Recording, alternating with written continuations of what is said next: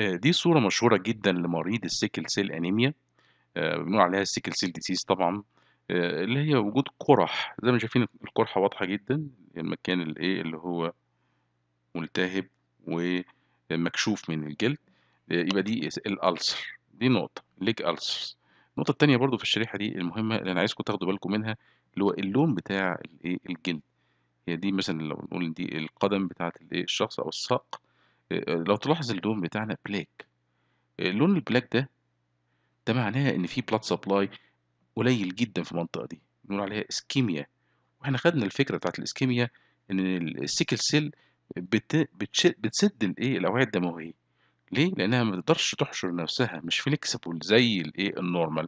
طب الischemia دي لو زادت أوي، يبقى زيادة الischemia اللي هي النقص في الblood supply يعني إيه ischemia؟ يعني نقص في blood supply. يبقى مع زيادة الischemia بيحصل نقص شديد في الblood supply يؤدي إلى حاجة مشهورة جدًا اسمها gangrene. كنا اتكلمنا عليها قبل كده، الغرغرينة. طبعًا الرجل بال باللون ده بالسواد ده معناه إن حصل necrosis necrosis يعني إيه، حصل death للخلايا بتاعة الجلد والخلايا اللي تحت الجلد وممكن توصل للعضم كمان.